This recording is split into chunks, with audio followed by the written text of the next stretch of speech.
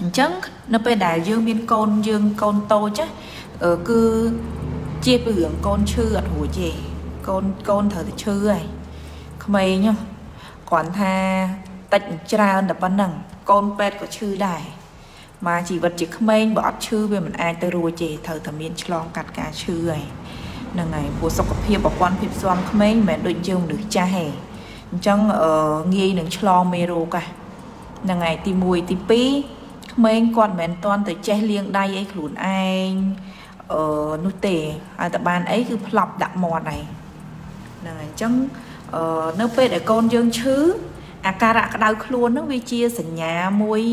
បញ្ជាក់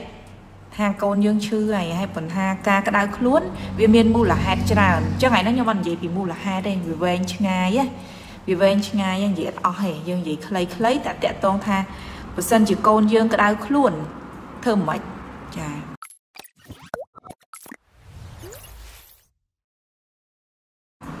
អញ្ចឹងរឿងវាមាន2កូនយើងប្រកបជាក្តៅខ្លួនមែនអត់ទី1ហើយទី2អឺតើនៅពេលដែលក្តៅខ្លួនយើងត្រូវធ្វើដូចម្ដេចអញ្ចឹងវាច្រើនពុកដៃខ្លះគាត់ឥឡូវនោះមានការយល់ដឹងច្រើនណាស់តកតងមួយការក្តៅខ្លួនមានន័យថាគាត់យល់ពីការស្ទង់កម្ដៅកូន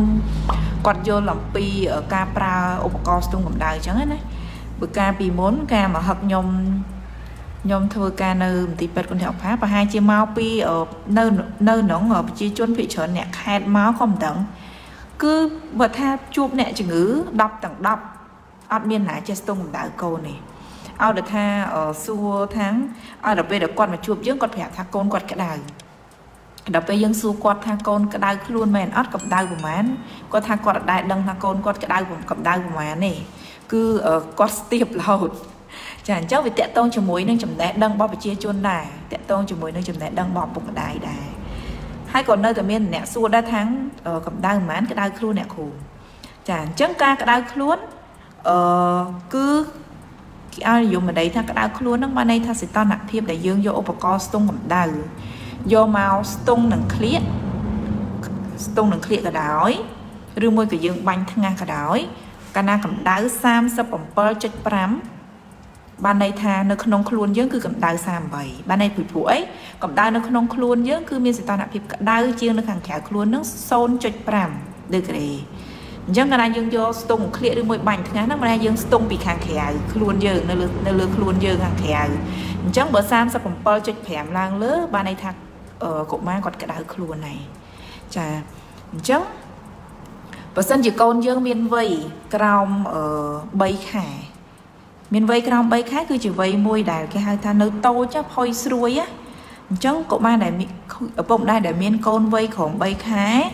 ហើយកូនក្តៅខ្លួនបើយើងស្ទង់លើកដំបូង37.5ហ្នឹងយើងអាចគាត់ថាយើងចាប់អារម្មណ៍ថាកូនយើងហាក់ជាអត់ស្រួលខ្លួនឬមួយក៏គាត់ក្តៅស្អុះឬមួយក៏ អាចពាក់ព័ន្ធមួយនឹងសីតុណ្ហភាពនៅក្នុងបន្ទប់អីអញ្ចឹងណាអញ្ចឹងលោកអ្នកត្រូវចាប់អារម្មណ៍បើសិនជាយើងចាប់អារម្មណ៍ថាកូនយើងក្តៅ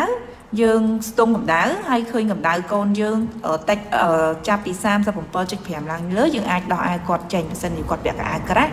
ឬមួយក៏រុំទៅដោយកសែងក្រាស់អញ្ចឹងណាហ្នឹងហើយយើងមើលសីតុណ្ហភាពនៅក្នុងកតុបដែរបើសិនសីតុណ្ហភាពហ្នឹងវាមានសីតុណ្ហភាពក្តៅក៏យើងត្រូវតែ យើងបើកកង្ហារឬមួយបើកបង្អួចឬមួយបើកម៉ាស៊ីនត្រជាក់អីចឹងទៅឲ្យស្ថានភាពវាចុះបន្តិចហើយបន្តមកទៀតយើងដោះកៅអៅកូនយើងចេញកុំឲ្យក្រាស់ពេក15នាទីឬមួយកន្លះម៉ោងក្រោយយើងអាចស្ទង់កម្ដៅកូនយើងម្ដងទៀតបើសិនជាសីតុណ្ហភាពហ្នឹងវានៅតែដដែលឬមួយក៏វាឡើងជាងសីតុណ្ហភាពដែលយើងស្ទង់ពីដំបូងហ្នឹងគឺសបញ្ជាក់ថាកូនយើងអាចនឹងក្តៅខ្លួនមែនដែរហ្នឹងហើយអាចនឹងក្តៅខ្លួនមែនដែរអញ្ចឹង យើងត្រូវមានថ្នាំបញ្ចុះកម្ដៅនៅនឹងផ្ទះនៅនឹងនៅនឹងផ្ទះនិយាយទៅអ្នកដែលមានកូនមិនអាចអត់មានថ្នាំបញ្ចុះកម្ដៅនៅផ្ទះទេឧបសម្ភារៈដែលយើងត្រូវមាននៅផ្ទះគឺថ្នាំបញ្ចុះកម្ដៅឬមួយក៏ហៅថាប៉ារ៉ាសេតាមុលប៉ារ៉ាសេតាមុលវាជាឈ្មោះថ្នាំតែវាមាន brand ច្រើនតែខ្ញុំមិននិយាយឈ្មោះ brand ថ្នាំទេហើយបើសិនជាកូនយើងនៅតូចមែនតើយើងគួរតែប្រើជាប្រភេទសេរ៉ូ ដែលបើសិនយើងថាយើងពិបាកសឹងថាយើងអត់ដឹងថាឲ្យប្រមាណមីលីលីត្រហ្នឹងគួរតែប្រើជាប្រភេទដែលមានក្រិតគីឡូស្រាប់ហើយបើអាចគួរតែមានទាំងប្រភេទសុលទៀតទាំងពីរប្រភេទតែម្ដងចំពោះអ្នកជំងឺដែលគាត់អញ្ជើញមកជួបខ្ញុំខ្ញុំច្រើនតែឲ្យគាត់ទៅទាំងពីរ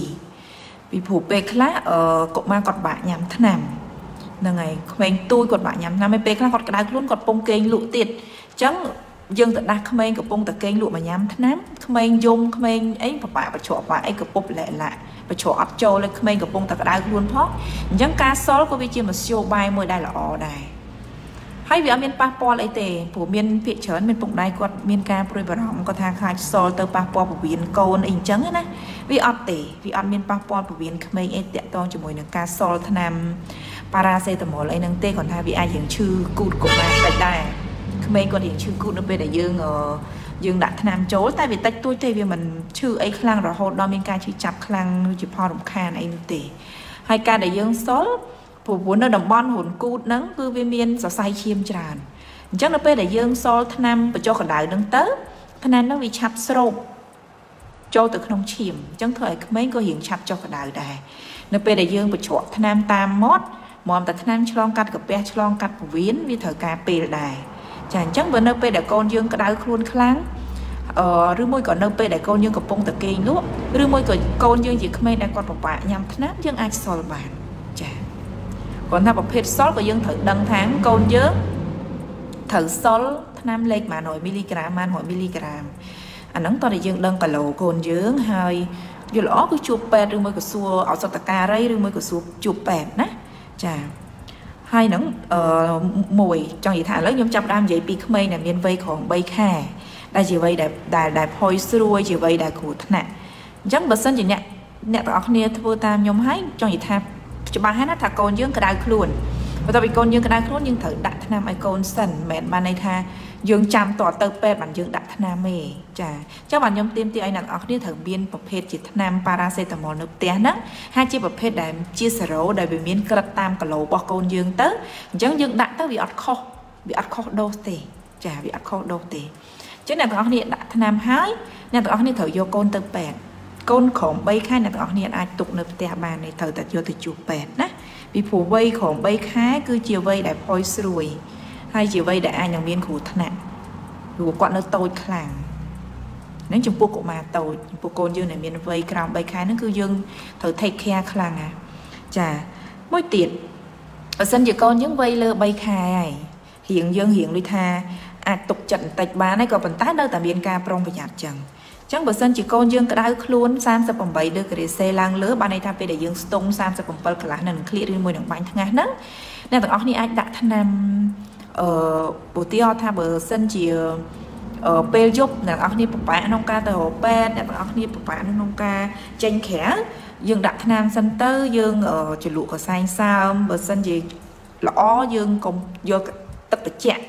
យើងអាចជាលក្ខណៈទឹកក្តៅអ៊ុនអ៊ុនទៅយើងទៅដប់កូនយើងយើងទៅដប់យើងមិនមែនជូតទេកាលណាយើងជូតខ្លួនកូនក្មេងគាត់សគាសាច់គាត់យំគាត់ព្រមឲ្យជូតគាត់យំហ្មង អញ្ចឹងយើងយកកសែងដែលជក់ទឹកល្អហើយរៀងធំបន្តិចយើងជ្រលក់កសែងហ្នឹងហើយយើងពូតកសែងហ្នឹងឲ្យរៀងស្ងួតទឹកទៅកុំឲ្យវានៅទឹកច្រើនជក់កសែងហ្នឹងហើយយើងយកទៅដដប់នៅលើខ្លួនកូនយើងជាពិសេសតំបន់កតំបន់ក្លៀកតំបន់កលៀនតំបន់កលាក់កលាក់ហ្នឹងគឺវាមានសរសៃឈាមច្រើនហើយវាមានកម្ដៅខ្លាំងណាស់ពេលដែលក្ដៅខ្លួនអញ្ចឹងបើយើងដាក់កន្លែងហ្នឹងវាជួយស្រូបកម្ដៅពីក្នុងខ្លួនក្មេងមកធ្វើឲ្យក្មេងឆាប់ចុះកម្ដៅហ្នឹងហើយ ក៏អាចងូតទឹកក្តៅអ៊ុនអ៊ុនឲ្យកូនបានដែរគ្រាន់ថាការងូតទឹកប្រហែលជាវាពិបាកក្មេងយំក្មេងអីអញ្ចឹងណាហ្នឹងហើយអញ្ចឹងអ្នកទាំងអស់គ្នាអាចជូតខ្លួនឲ្យសំទោសដណ្ដប់កសែងសាមដណ្ដប់កសែងសាមហើយអ្នកទាំងអស់គ្នាអាចនឹងឆាប់ដូរបន្តិចកុំទុកដោយថាប្រហែលជា4 5នាទីអីហ្នឹងកសែងហ្នឹងវាស្រូបកម្ដៅហើយចឹងនៅពេលដែលកសែងនឹងស្រូបកម្ដៅអ្នកទាំងអស់គ្នាដូរយកកសែងនឹងជ្រលក់ទឹកឲ្យដូរជ្រលក់ទឹកពូតដាក់ដាក់ភាសាទៀតអញ្ចឹងណាធ្វើអញ្ចឹងរហូតតតកូនយើងចុះកម្ដៅ ចារួចហើយស្អែកចាំយើងយកកូនទៅពេទ្យក៏បានដែរអានេះខ្ញុំនិយាយករណីដែលកុមារក្តៅខ្លួនប៉ុន្តែក៏អត់មានរោគសញ្ញាអីដែលគួរឲ្យព្រួយបារម្ភចាវាមានរោគសញ្ញាដែលយើងត្រូវព្រួយបារម្ភដែលយើងមិនអាចទុកកូននៅផ្ទះបានតែតិចទៀតខ្ញុំនឹងនិយាយ ហ្នឹងហើយបើសិនជាករណីគ្រាន់តែកូនយើងក្តៅខ្លួនទេហើយវាអត់ទាន់មានរោគសញ្ញាអីត្រូវព្រួយបារម្ភទេយើងអាចរៀង follow up គាត់បន្តិចបានហើយបើសិនជាកូនយើងរៀងធំបន្តិចហើយអាហ្នឹងយើងរៀងអាចមានដូចថាអាច follow up មួយថ្ងៃអីសិនបាន ជាពិសេសក្មេងដែលគាត់វ័យលើ6ឆ្នាំណាវ័យលើ6ឆ្នាំយើងលែងសូវភ័យហើយដោយសារកុមារគាត់អាចនឹងមានបញ្ហាមួយគឺបញ្ហាក្តៅប្រកាច់នៅចន្លោះ6ខែទៅ6ឆ្នាំ ចន្លោះអាយុហ្នឹងគឺក្មេងអាចនឹងមានបញ្ហាក្តៅប្រកាច់ម្ល៉េះហើយបានតែខ្ញុំតែងតែប្រាប់ថាពុកម្ដាយត្រូវតែមានប្រដាប់ស្ទង់កម្ដៅនៅផ្ទះមានថ្នាំបញ្ចុះកម្ដៅនៅផ្ទះពីព្រោះនៅពេលខ្លះក្មេងតែក្តៅខ្លួនគឺអត់ឲ្យយើងដឹងមុនទេពេលដែលយើងចាប់អារម្មណ៍38កន្លះ39បាត់ហើយក្មេងខ្លះមិនចាំបាច់តតែក្តៅខ្លាំងទេក្តៅត្រឹមតែ38 38កន្លះគឺប្រកាច់ហ្មងហ្នឹងហើយទៅតាមក្មេង ទៅតាមក្មេងហើយការដែលក្មេងក្តៅប្រកាច់ហ្នឹងដោយសារតែប្រព័ន្ធខួរក្បាលរបស់គាត់សម្របសម្រួលជាមួយនឹងសីតុណ្ហភាពខ្លួនគាត់ដែលក្តៅខ្លាំងហ្នឹងអត់បានអញ្ចឹងត្រូវធ្វើឲ្យគាត់ប្រកាច់ហ្នឹងឯងចាហើយអឺចំពោះកុមារដែលកុមារដែលយើងនិយាយថាក្មេងធំគាត់អាចសឹងថាពុកម្ដាយគាត់លែងសើលែងយើងលែងសើភ័យថាកូនយើងនឹងក្តៅប្រកាច់ហើយពាក្យច្រើនក្មេងកាលណាគាត់ឈឺពាក្យច្រើនវាជាប្រភេទគេហៅថា viral infection ភាសាភាសាអង់គ្លេសឬមួយក៏ការឆ្លងមេរោគដោយពពួក virus អញ្ចឹងបើសិនជាគាត់អត់មានសញ្ញាអីជាជាធំដុំទេបានន័យថាអត់មានសញ្ញាគ្រោះថ្នាក់ដូចជាសញ្ញាគ្រោះថ្នាក់ខ្ញុំនិយាយដូចជាមានដូចជាសញ្ញាក្អួតញឹកញាប់ដាក់អង្គុយកក្អួតធ្វើអីក៏ក្អួតចឹងនិយាយថាក្អួតមួយផ្លែតងាកក្អួតងាកក្អួតចឹងណាអត់មានអត់មានញ៉ាំអីផងក៏ក្អួតអត់មានញ៉ាំថ្នាំផងក៏ក្អួតអឺអត់មានក្អកផងក៏ក្អួតដែរព្រោះក្មេងក៏ក្អកក៏អាចក្អួតដែរចាអញ្ចឹងក្អួតញឹកញាប់ អឺបញ្ហាក្មេងគាត់ត្អូនថាគាត់ឈឺក្បាលហើយក្មេងធំដែលគាត់ចេះនិយាយហ្នឹងឬមួយក៏ក្មេងគាត់អឺមិនទាន់ចេះនិយាយក៏គាត់អាចយើងចាប់អារម្មណ៍ថាគាត់លែងសូវលេងដូចធម្មតាគាត់សន្លឹមគាត់គិតតែពីគេងអត់បើកភ្នែកហ្នឹងហើយហើយឬមួយក៏យើងចាប់អារម្មណ៍ថាការញ៉ាំរបស់គាត់ថយចុះខ្លាំងគាត់ធ្លាប់តែញ៉ាំបានច្រើនគាត់លែងសូវញ៉ាំគាត់ធ្លាប់តែលេងច្រើនរត់លេងគាត់នៅមួយកន្លែងដេកស្តេក ឬមួយក៏ក្មេងយើងចាប់អារម្មណ៍ថាពេលដែលយើងប៉ះកកូនយើងកូនកកូនយើងអត់អត់អោនណានេះថានៅរឹងហ្មងនឹងសុទ្ធតែជាសញ្ញាគ្រោះថ្នាក់ដែលអាចថាកូនយើងអាចមានបញ្ហាលាកស្រោមគូក្បាលលាកគូក្បាលអីអញ្ចឹងចាឬមួយក៏សញ្ញារាកចាសញ្ញារាកញឹកញាប់ក្អួតញឹកញាប់ហើយរាកញឹកញាប់បើរាកបើរាករាកញឹកញាប់មិនតាន់ស្មើក្អួតញឹកញាប់ទេនិយាយទៅក្អួតធ្ងន់ជាងរាកទៀត ក្អួតក្អួតវាបាត់បង់នៅសារជាតិអេឡិចត្រូលីតជាតិអ៊ីយ៉ុងអីនៅក្នុងខ្លួនយើងច្រើនណាស់ហើយក្មេងឆាប់បាក់ក្មេងឆាប់ឆាប់ទុនខ្លួនណាអញ្ចឹងកាលណាអួតញឹកញាប់រាកញឹកញាប់ក៏យើងមិនអាចទុកកូននៅផ្ទះដែរយើងក៏ត្រូវប្រញាប់យកកូនមកពេទ្យដែរតែបើសិនជាគ្រាន់តែរាកគាត់នៅមុំបាននៅញ៉ាំបានអាហ្នឹងមិនទាន់អីទេយើងអាចញ៉ាំឲ្យគាត់ញ៉ាំទឹកឲ្យច្រើនហើយបើមានអូរ៉ាលីតនៅផ្ទះឲ្យគាត់ញ៉ាំអូរ៉ាលីតអីអញ្ចឹងណា តែបើថាក្អួតផងរាកផងអាហ្នឹងត្រូវតែលោកអ្នកប្រញាប់ហូបពេទ្យដែរចាហើយប្រសិនជាកូនយើងគាត់ក្តៅខ្លួនលក្ខណៈជាយើងមើលទៅថាអត់មានសញ្ញាដូចដូចដែលខ្ញុំបានរៀបរាប់មិញទេគាត់រៀងគ្រាន់តែក្អកតិចតួចជាសវោតិចតួចអីអញ្ចឹងលេងធម្មតាអីធម្មតាទេយើងអាចអឺយើងអាចគ្រាន់តែថាប្រើថ្នាំបញ្ចុះក្តៅប្រភេទប៉ារ៉ាសេតាមុលហ្នឹងលោកអ្នកអាចឲ្យគាត់ ពី3 2ទៅ3ថ្ងៃអីចឹងទៅបើសិនជា2ទៅ3ថ្ងៃហ្នឹងគាត់អត់មានថយកម្ដៅគាត់នៅតែក្តៅខ្លាំងអាហ្នឹងត្រូវទៅជួបពេទ្យដែរចាពីព្រោះជាទូទៅអឺប្រភេទការបង្កលោកការសំទោសការបង្ករោគដោយ virus ក្នុងអំឡុងពេល3ថ្ងៃដំបូងគឺវាក្តៅខ្លាំងក្មេងណាដោយសារពេលហ្នឹង virus កំពុងតែវាយលុក ខ្លួនក្មេងខ្លួនមនុស្សយើងអញ្ចឹង3ថ្ងៃបន្តមកទៀតហ្នឹងខ្លួនយើងចាប់ផ្ដើមយកឈ្នះវីរុសបានហើយអាហ្នឹងខ្ញុំនិយាយពីវីរុសដែលស្រាលវីរុសទូទៅអឺហើយអញ្ចឹងចាប់ផ្ដើមកម្ដៅហ្នឹងវាចាប់ផ្ដើមថយលែងសើក្ដៅហើយហើយរៀងរជាលជាងមុនហើយចាអញ្ចឹងបើសិនជានេះអ្នកទាំងអស់គ្នាអាច follow up ពីរថ្ងៃដំបូងសិនបានបើសិនជាអ្នកទាំងអស់គ្នា ទីមួយអាចនៅឆ្ងាយពីពេទ្យឬមួយក៏អ្នកទាំងអស់គ្នាភ័យបារម្ភរឿងថាកូវីដមិនចង់មកដូចថាខ្លាចនៅក្នុងការមកពេទ្យអីអញ្ចឹងណា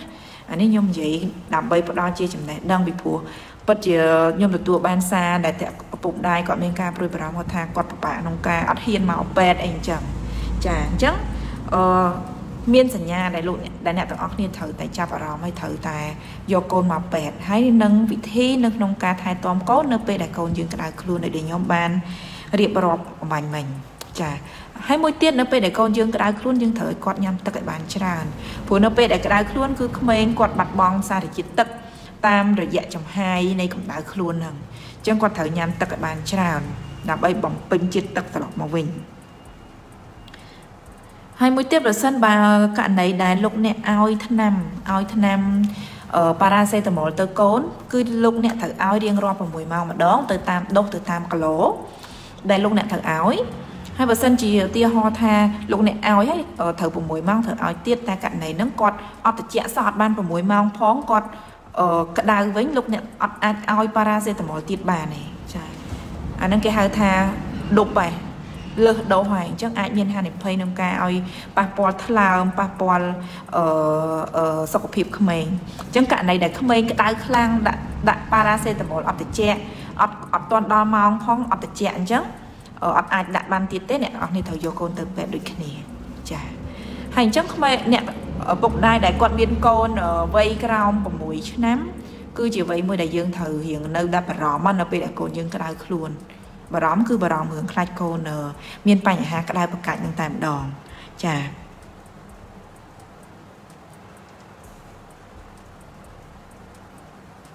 អូខេអញ្ចឹងថ្ងៃហ្នឹងអ្នកទាំងអស់គ្នាខ្ញុំអត់បានអាន comment នឹងឆ្លើយសំណួរណាដោយសារខ្ញុំអត់មានពេលអឺអញ្ចឹងខ្ញុំសូមនិយាយតែខ្លីៗជាគេហៅថាចំណេះដឹងនៅក្នុងការចែកម្លែកទៅពុកដែរណា ចាហើយអញ្ចឹងតកតងជាមួយនឹងកូនក្តៅខ្លួននេះគឺខ្ញុំសូមនិយាយតែប៉ុណ្ណឹងចាពីមូលហេតុក្តៅខ្លួនវាមានច្រើនអត់មានពេលក្នុងការបកស្រាយបានវែងឆ្ងាយទេអញ្ចឹងចូលដល់ប្រធានបទមួយទៀតគឺប្រធានបទតកតងជាមួយនឹងម្សៅទឹកដោះគោបើនិយាយពីប្រធានបទហ្នឹងគឺគេហៅថាប្រធានបទក្តៅកគុកហើយព្រោះភាកច្រើនពុកម្ដាយគាត់ឲ្យកូនបើទឹកដោះគោឬមួយក៏ទឹកដោះគោម្សៅគេហៅថា formula មានហ្នឹងណាចាអញ្ចឹងនៅពេលដែលកូនយើងបើទឹកដោះគោអឺ តែងតែមានជាចម្ងល់ដែរអឺថាតើអ្នកគ្រូកូនខ្ញុំបើទឹកដោះគោហ្នឹងអឺត្រូវអត់ជាពិសេសពុកម្ដាយគាត់ចង់តដោទឹកដោះគោកូនទេមូលហេតុដែលគាត់ចង់ដោះគោដោដោះគោកូនណាវាច្រើនតែខ្ញុំទទួលបានទី1កូនក្តៀនទី2កូនអត់ឡើងគីឡូទី3គឺតាក់តងជាមួយនឹងកូនក្តៀនកូនអត់ឡើងគីឡូហើយនឹងអឺអីគេចេះមួយទៀតអឺ កូនអត់សូវមុំទៅដល់គោកូនអត់សូវមុំទៅដល់គោក៏គាត់ចង់ដូរដែរអញ្ចឹងនិយាយទៅតកតងជាមួយនឹងការដូរទៅដល់គោហ្នឹងបើនិយាយទៅវាអត់មានទ្រឹស្ដីអីលក្ខណៈថាអឺឲ្យច្បាស់លាស់ហេក៏ប៉ុន្តែអឺគ្រូពេទ្យគឺគាត់យល់គាត់យល់ពីការរឿងថាពេលណាត្រូវអត់ដូរទៅដល់គោហ្នឹងសម្រាប់ខ្ញុំកុមារម្នាក់ដែលគាត់បើទៅដល់គោបើសិនជាគាត់បើទៅគាត់មានសុខភាពល្អធម្មតា បានន័យថាគាត់អត់ឈឺស្កាត់អីទេគាត់អត់មាន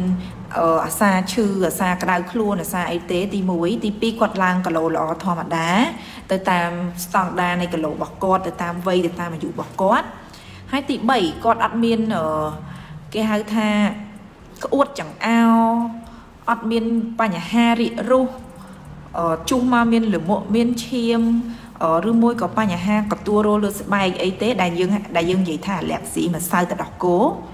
អឺដែលភាសាអង់គ្លេសគេហៅ protein cow meal protein allergy ហ្នឹងអាហ្នឹងអាហ្នឹងក៏យើងអត់អត់ចាំបាច់ត្រូវការដូរដោះគោដែរអញ្ចឹងសម្រាប់ពេទ្យណាអឺកូនយើងត្រូវការដូរទៅដោះគោលើកលែងតែគាត់មានបញ្ហាសុខភាពមួយមួយដែលគាត់អាចញ៉ាំទៅដោះគោនឹងបានអាចជាការអាឡែកស៊ីជាមួយនឹងប្រូតេអ៊ីនម្សៅប្រូតេអ៊ីនសំទោស អាចជាការអាឡែកស៊ីជាមួយនឹងប្រូតេអ៊ីនទឹកដោះគោចាខៅមៀប្រូតេអ៊ីនអាឡែកស៊ីហ្នឹងឬមួយក៏អាចជាការអាឡែកស៊ីជាមួយនឹង lactose ដែលជាសារជាតិស្ករដែលវាមាននៅក្នុងទឹកដោះគោហ្នឹងដែលក្មេងឲ្យតបៅទឹកដោះគោធម្មតាដែលមានជាតិឡាក់តូសហ្នឹងគឺក្មេងហៀហ្មងដល់ពេលដូរមកមកបើទឹកដោះគោដែលគេជាតិដកឡាក់តូសនឹងនឹងវិញគឺលែងហៀហ្មងចាឬមួយក៏កូនហ្នឹងគាត់មានបញ្ហាគេហៅថាអឺគាត់ មុំទៅដោះគោធម្មតាហ្នឹងគឺគាត់ចេះតែក្អួតគេហៅថាច្រាលច្រាលច្រាលទៅដោះគោហ្នឹងគេហៅ reflux ភាសាពេទ្យគេហៅ reflux ហ្នឹងអញ្ចឹងលើកលែងតែគាត់ហ្នឹងមានបញ្ហាសុខភាពទាំងអស់ហ្នឹងដែលយើងត្រូវគិតថាគាត់គួរតែដូរទៅញ៉ាំទឹកដោះគោដែលសម្រាប់ក្មេងអាឡែកស៊ីប្រូតេអ៊ីនទឹកដោះគោឬមួយក៏ដូរទៅញ៉ាំទឹកដោះគោសម្រាប់ក្មេងអាឡែកស៊ីជាមួយនឹងជាតិឡាក់តូសឬមួយក៏គាត់គួរតែដូរទៅញ៉ាំទឹកដោះគោដែលសម្រាប់ ទប់ជាមួយនឹងបញ្ហាច្រាលទឹកដោះគោឬមួយក៏ភាសាពេទ្យគេហៅ anti reflux ហ្នឹងនៅក្នុងករណីដែលកូនអ្នកឡើងគីឡូធម្មតាកូនអ្នកមុំបានធម្មតាមើលទៅគាត់មុំទៅដល់គោនឹងបានធម្មតា ហើយគាត់មានបញ្ហាក្តៀនម្ដងម្កាលអឺដែលពីមុនមកគាត់មុំទៅដល់គោនឹងក៏អត់មានបញ្ហាក្តៀនអីទេសម្រាប់ខ្ញុំខ្ញុំអត់ចង់ឲ្យដូរទៅដល់គោទេ ខ្ញុំអានេះខ្ញុំនិយាយសម្រាប់ខ្ញុំណាសម្រាប់ខ្ញុំគំនិតរបស់ខ្ញុំផ្ទាល់ទេពីព្រោះវាអត់មានជាទ្រឹស្ដីអីតាក់ទងមួយក្មេងក្តៀនត្រូវទៅដោះដោះគោឯងអត់មានជាក្បួនច្បាប់សរសេរមកថាអត់ទេហ្នឹងហើយក៏មិនមានម្សៅទៅដោះគោណាដែលពិសេសទៅថាញ៉ាំទៅអត់អត់ក្តៀនដែរតាមបទពិសោធន៍របស់ខ្ញុំដែលខ្ញុំជួបអ្នកជំងឺហើយនឹងជួបពុកម្ដាយដែលគាត់យកកូនមករឿងក្តៀនហើយគាត់ដូរម្សៅដោះគោហ្នឹងពុកម្ដាយខ្លះគាត់ដូរឡើង4 5ម៉ូតដែរតែកូននៅតែក្តៀន ចាអញ្ចឹងជាក់ស្ដែងបញ្ហាក្តៀនហ្នឹងវាថាវាជាបញ្ហាមួយដែលយើងនិយាយថាវាជាបញ្ហាដែលយើងនឹងអាចនឹងជួបប្រទះនៅក្នុងមួយជីវិតក្មេងក្មេងណាក៏នឹងអាចនឹងជួបបញ្ហាក្តៀនដែរម្ដងមកកាលយូរយូរម្ដងនៅក្នុងមួយជីវិតជាក្មេងអញ្ចឹងយើងត្រូវព្យាយាមរកដំណោះស្រាយផ្សេងផ្សេងតាមរយៈដូចជាឧទាហរណ៍ដូចជាការម៉ាស្សាពោះហើយបើសិនជាក្មេងលើ6ខែតាមរយៈការផ្ដល់នៅចំណីអាហារក្នុងការជួយបន្ទន់លាមកក្មេង បង្កើតនៅទម្លាប់នៅក្នុងការបន្ទោបងអរិយាប័ត្រក្នុងការបន្ទោបងដល់ត្រឹមត្រូវទៅបងហ្នឹងវាជួយនៅក្នុងការឲ្យក្មេងបាត់បញ្ហាទល់លាមកដែរ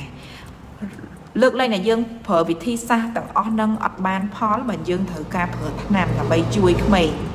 ហ្នឹងហើយហើយចំពោះក្មេងក្រោម6ខែយើងអាចឲ្យគាត់ញ៉ាំអាហារផ្សេងផ្សេងបានយើងអាចប្រើវិធីផ្សេងផ្សេងសិនម៉ាសាពោះឬមួយក៏អឺ គេហៅថាយើងលាបប្រេងដូងឬមួយក៏ប្រេងរំអិលនៅជុំវិញរូនគូតរបស់ទារកអីអញ្ចឹងណាហ្នឹងហើយហើយចំពោះការដូរទៅដោះកូនហ្នឹងគឺវាជាជំរឹះចុងក្រោយវាជាជំរឹះចុងក្រោយហើយសង្ឃថា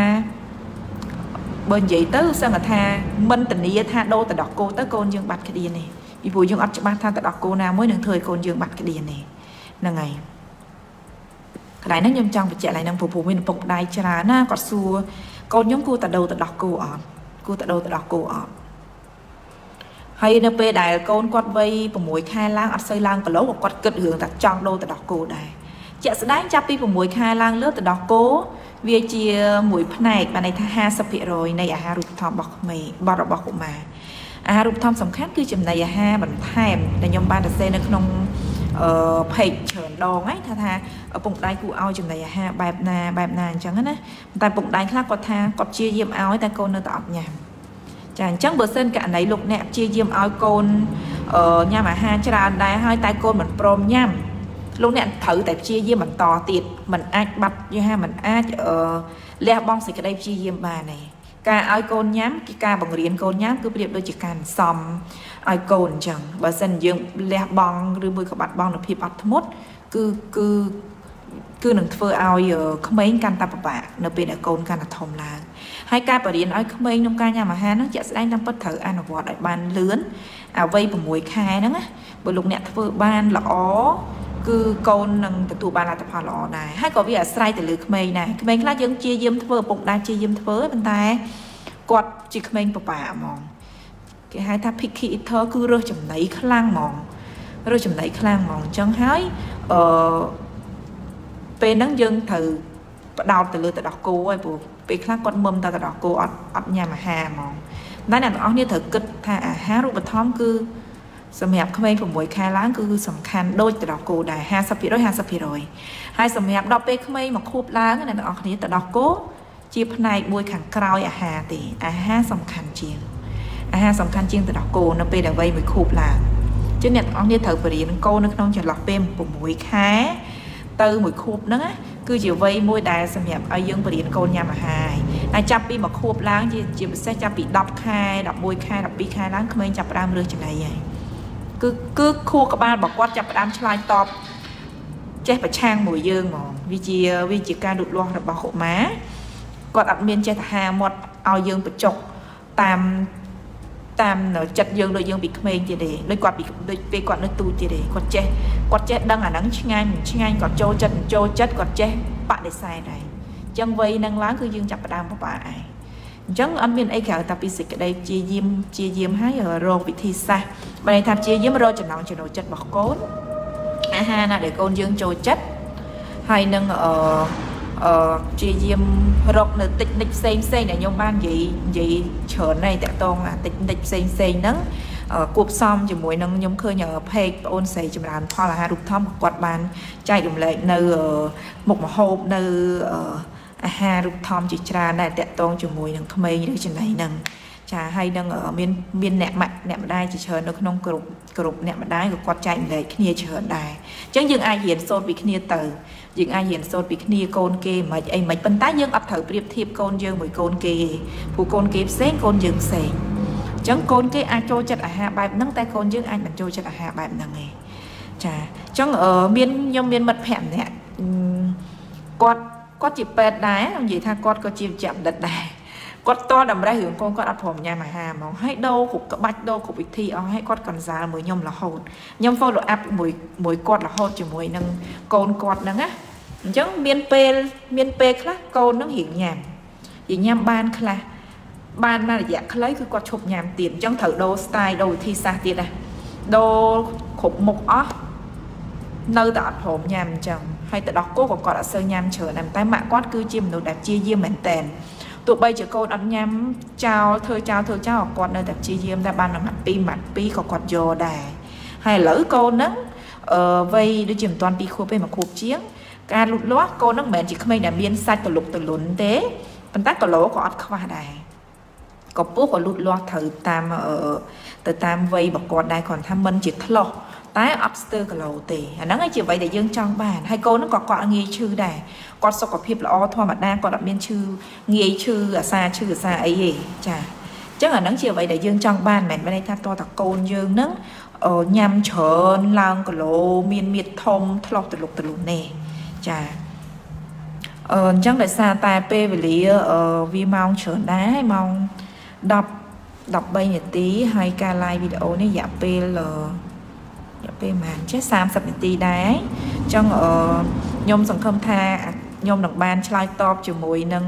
ទីមួយកិច្ចសន្យារបស់ខ្ញុំដែលខ្ញុំនឹងនិយាយថានឹងនិយាយអំពី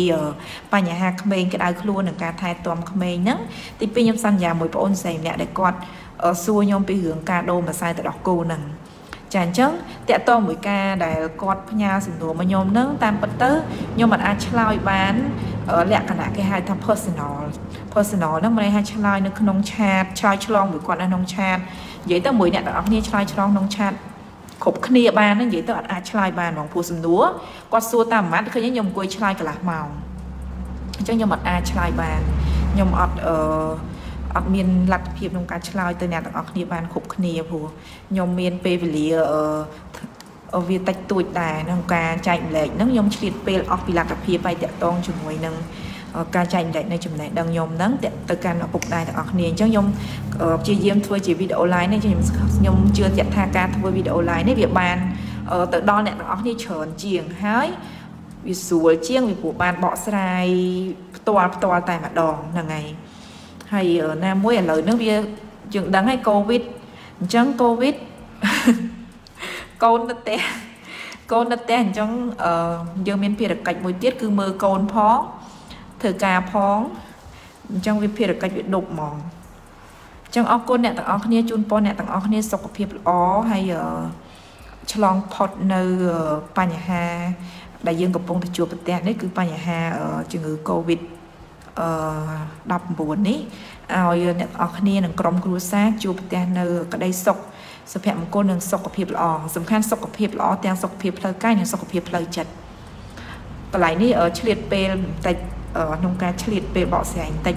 អឺណានៅក្នុងនាមខ្ញុំជាអ្នកម្ដាយម្នាក់ខ្ញុំឆ្លងកាត់បទពិសោធន៍ក្នុងក្នុងនាមជា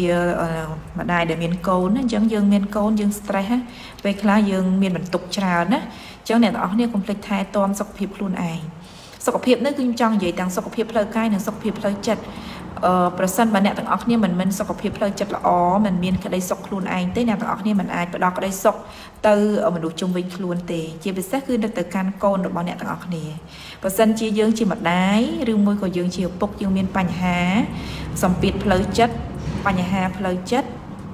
អឺគឺនឹងជាអតិពលដល់កូនយើងឲ្យតិចនឹងច្រើនចាអញ្ចឹងជាយាមថែទាំសុខភាពខ្លួនឯងអឺអរគុណអ្នកទាំងអស់គ្នាជូនពរអ្នកទាំងអស់គ្នាប៉ុណ្ណឹង រាត្រីសួស្តីណា